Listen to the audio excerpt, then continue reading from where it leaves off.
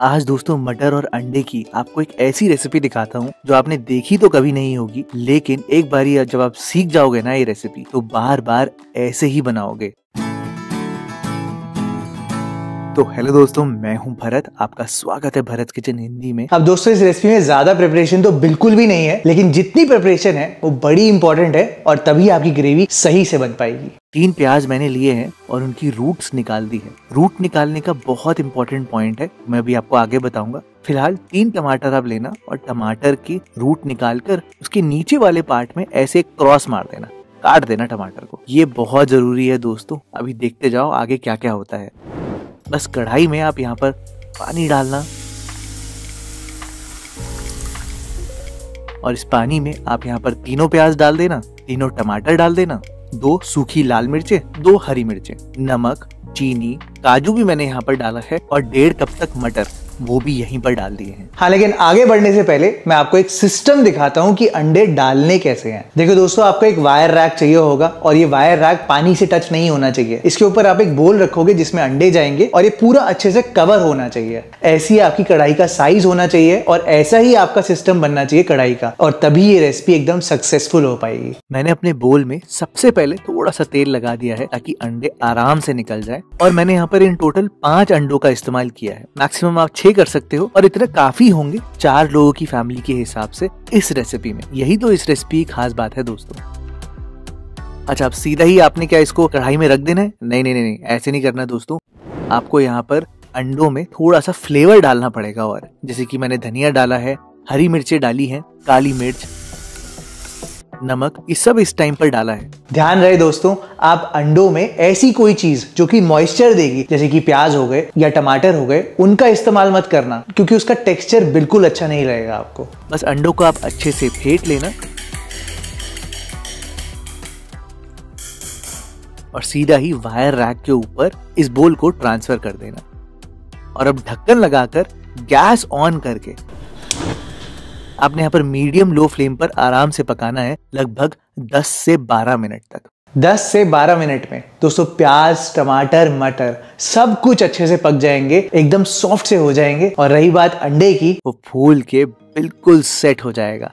ये देखो दोस्तों आप टाइम लैप्स में। 12 मिनट बाद मैंने यहाँ पर गैस बंद कर दी थी। और अब देखो आप अंडा कितना अच्छे से फूल चुका है दोस्तों। मैंने तो इसको फटाफट से निकाल कर साइड में रख दिया है ताकि ये थोड़ा सा सेट हो जाए, मैं इसको आराम से निकाल पाऊँ। और रही बात प्याज, टमाटर, मटर की तो बहुत अच्छे से पक चुके हैं दोस्तों। मैंने आपको बोला था ना कटिंग बहुत इंपॉर्टेंट है, तैयारी के देखो। पूरे पूरे ऐसे आप प्याज लोगे तो आराम से पकड़ के आप इनको ऐसे ही निकाल लोगे, मटर से अलग करके। इसमें आप हरी मिर्च, लाल मिर्च और काजू भी निकाल लेना, कोई दिक्कत नहीं आएगी दोस्तों, आराम से आप पकड़ पाओगे। इन सब चीज़ों को निकाल कर आपने ठंडा करना है, तभी तो हम इनको आराम से पीस पाएँगे और ग्रेवी बना पाएँगे। तो इतनी देर में जब तक ये ठंडे हो रहे हैं, मैंने यहाँ पर मटर को भी अलग कर दिया है पूरा। ये देखो, आप सारे के सारे मटर पूरी तरीके से अलग हो चुके हैं। तो ये पानी भी बहुत फ्लेवरफुल है, इसको भी संभाल के रखना दोस्तों। जब तक प्याज टमाटर ठंडे हो रहे हैं, तब तक मैं अंडा निकाल देता हूँ। बस आप चाकू से ऐसे एक स्क्रेप कर देना साइडों में और सीधा ही जब आप पलटोगे ना आपके जो अंडे का केक है, बिल्कुल आराम से निकल जाएगा। अब बस आप इसको अपनी मन पसंद की शेप में काट लेना। आप खुद ही बता दो, ये पनीर से कम लग रहा है क्या? आप देखो कितना सॉफ्ट बना है दोस्तों। और जब इसको ग्रेवी में डालेंगे ना तो ये सारा फ्लेवर पी जाएगा। बहुत ही अमेजिंग लगेगा ये मटर के साथ। अच्छा ग्रेवी की हम बात कर रहे थे। प्याज, टमाटर इतनी देर में ठंडे हो जाएँगे तो टमाटर का ना आप छिलका निकाल देना। और जो कट मारने का रीजन था ना दोस्तों यही था। क्योंकि ये जो छिलका है ना, ये गलता ही नहीं है सही से। तो इसका कोई फ़ायदा नहीं है, आप इसको निकाल देना। अब बस मिक्सर ग्राइंडर में आप भर के लहसुन डालना, अदरक डालना, प्याज, टमाटर, मिर्ची, काजू, सब कुछ एक साथ डालकर पीस देना। पानी मत डालना दोस्तों आप इसमें। अगर आपने पानी डाल दिया ना तो आपको भुनने में बहुत दिक्कत होगी। पीस के बस एकदम फाइन पेस्ट बना देना और सीधा ही चलते हैं इस रेसिपी को खत्म करने। आपने गैस ऑन करनी है और कढ़ाई में आप कोई भी अपनी पसंद का तेल डाल सकते हो। मैंने यहाँ पर सरसों के तेल का इस्तेमाल किया है। तेल जैसे ही गर्म हो गया था तो मैंने यहाँ पर जीरा डाल दिया था गरम गरम तेल में। और फटाफट से जो हमने ग्रेवी पीस कर रखी है ना उसको ट्रांसफ़र कर दिया है।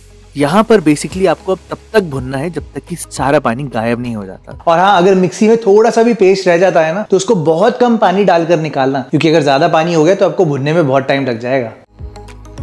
और पानी रिड्यूस करना है तो इसी टाइम पर आप नमक डाल देना। कश्मीरी लाल मिर्च डाल देना रंग के लिए, धनिया पाउडर डालना भर के और हल्दी पाउडर इसी टाइम पर डालना दोस्तों, ताकि जो मसाले हैं वो अच्छे से फूल जाए और ग्रेवी में अच्छे से सेट हो जाए। मैं क्या करता हूँ कि मैं यहाँ पर ढक्कन लगाता हूँ और इसको आराम से पकने देता हूँ मीडियम लो फ्लेम पर। हाँ लेकिन ढक्कन जब आप लगाओगे तो बीच बीच में आप इसको स्टर ज़रूर करना। बहुत ज़रूरी पॉइंट है ये। ऐसा इसलिए है दोस्तों, क्योंकि इसमें काजू है और काजू क्या करता है, वो पैन से चिपकने लग जाता है। तो उससे बचने के लिए हर दो तीन मिनट में एक बार स्टर ज़रूर कर देना और आराम से इसको भून लेना जब तक कि सारा मॉइस्चर गायब नहीं हो जाता और तेल इससे अलग नहीं हो जाता। देखो दोस्तों, पहले कितनी ग्रेवी थी और अब कितनी सी रह गई है। तो जब तेल अलग हो जाएगा तो उस टाइम पर आप यहाँ पर एक बड़ा चम्मच डालना चिकन मसाला का या मीट मसाला या कोई भी मसाला जो पसंद आता है आपको, वो आप यहाँ पर डालना ताकि एक बूस्ट मिले रेसिपी को और एकदम फ्लेवरफुल बनकर आए।